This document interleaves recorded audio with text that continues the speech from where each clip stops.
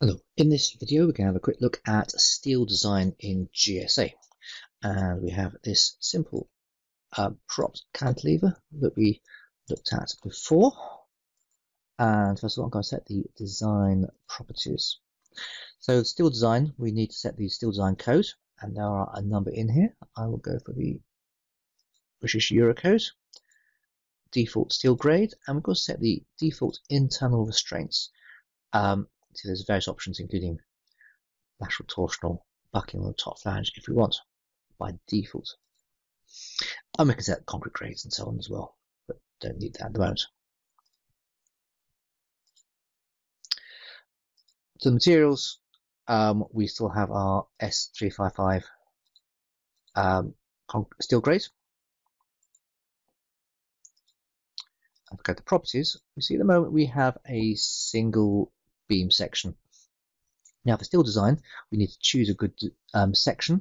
So we need lots of them. And the way we do that is add them in. So just I'm just going to clear that off and right click and say add catalog sections.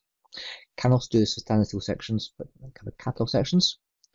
Um, set my catalog to British, my type to universal beams, and I can select all of those, or a subsection. There are sections I know that I'm not interested in.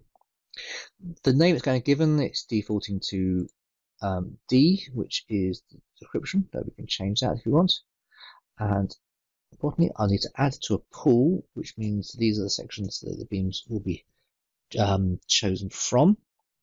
I'm going to do the set some of the steel design attributes for these and see well these are all hot rolled finished um, set the other parameters as we wish. So OK to that. It adds in um, nearly 92 sections.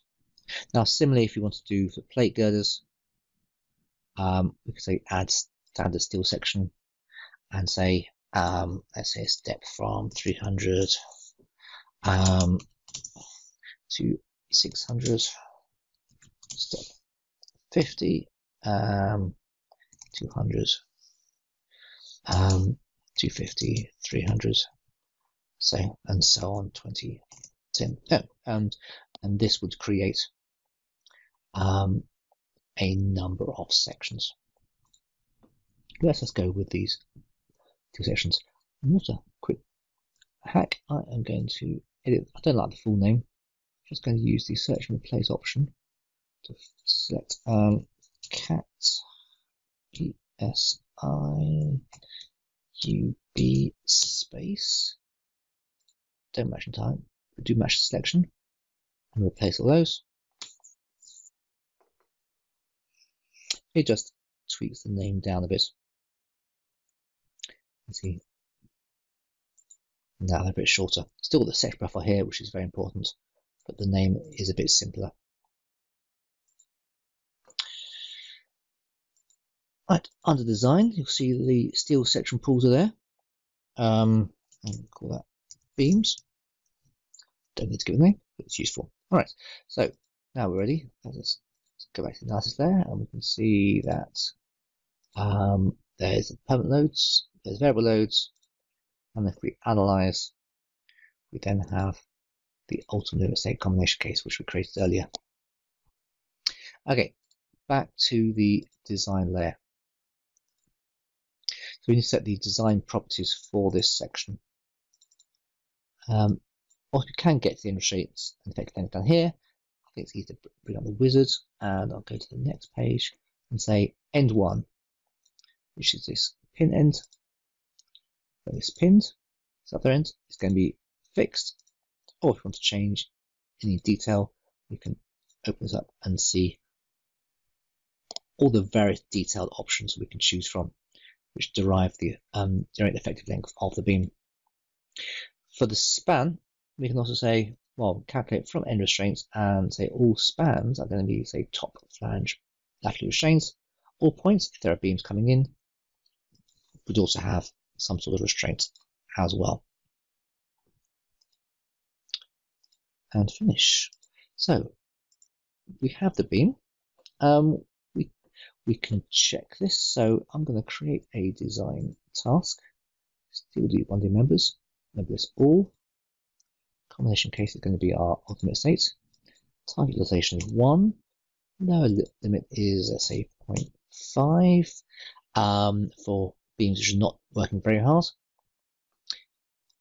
Minimize weight, minimize cost or depth. Um, so there's various options in here to um, choose from.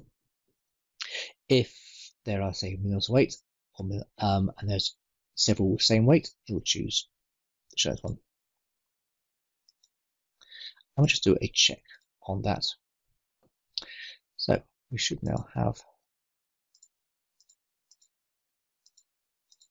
um, the check, and you see it's it's working quite hard. In fact, if we also if we um, look at the results um, and look at the utilization, we see utilization is running at six, quite high.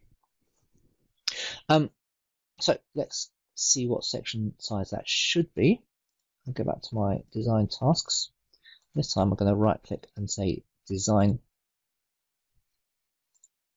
And I'll go back to, well, change this back to utilization. And you see we've now got a much larger beam, which is um, section 10. 254146 with a utilization um, of 0.968, which is a beam um, which is working well. Okay,